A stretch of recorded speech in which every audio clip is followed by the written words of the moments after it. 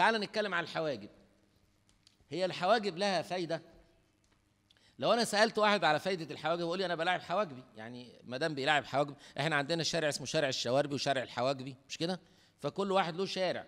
الحواجب دي لها فوائد آه لها فوائد إيه هي بقى؟ أول حاجة كسر الأشعة ال- ال- الشديدة اللي بتيجي على العين. خلاص؟ دي وقاية للعين. الحاجة الثانية العرق. لما تيجي تعرق هتلاقي ربنا سبحانه وتعالى العرق بينزل من هنا أو من دماغك يروح جاي على الجنبين يروح نازل على الجنبين عشان ما يجيش على عينك يبقى عامل زي مية النار. يبقى مهم جدا إن ربنا خلق الحواجب. لأن مرة قابلت أستاذ كان أستاذ دكتور يعني فبيشرح فيسيولوجي فبقول ربنا عمل حاجات كتير مش عارفين لها فايدة.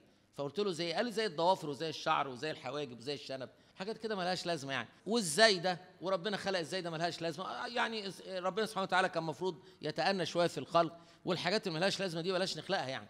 فأنا قلت له والله العظيم ربنا ما خلق حاجة عبث ابدا. وبعدين بتدي المنظر الجمالي. تخيل إنسان من غير حواجب هيلاعب حواجبه إزاي؟ يعني هو من غير حواجب.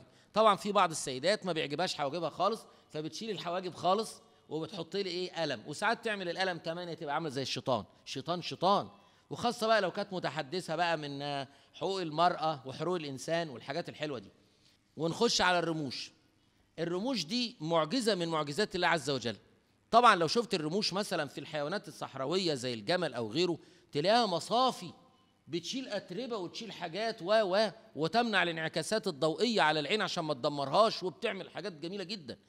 كارثة كبيرة لو لو شعرايه انتنت جوه العين. يعني شفت الجفن ربنا عامله لبره. يعني زي ما أقول بعض ال- العضلات العاصرة. طبيعتها إنها قافلة زي الشرج أو الرحم طبيعتها قافلة. والحمد لله إنها قافلة على طول. لأنها لو اتفتحت هتبوظ الدنيا. ما بتتفتحش إلا بالإرادة. زي فتحة الأنف طبيعتها إنها إيه؟ مفتوحة مش مقفولة.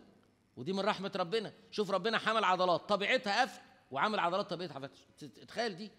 يعني عبقرية الخالق سبحانه وتعالى.